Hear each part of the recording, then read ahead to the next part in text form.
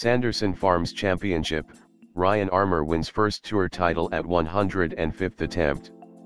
American Ryan Armour won the Sanderson Farms Championship to his claim his first USPGA Tour title at the 105th attempt and then thanked his wife for not letting him give up on the sport.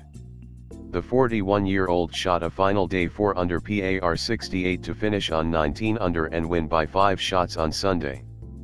Fellow American Chesson Hadley was second on 14 under at the Country Club of Jackson in Mississippi. I'm tearing up.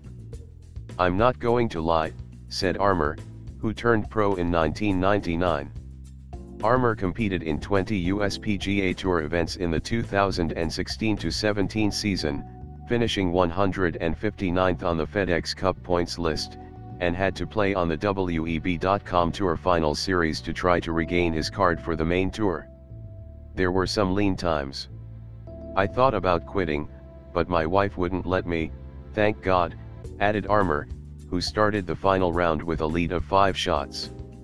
It goes back to have faith in what you do. You know if you believe in something, go do it, work hard at it and have fun doing it.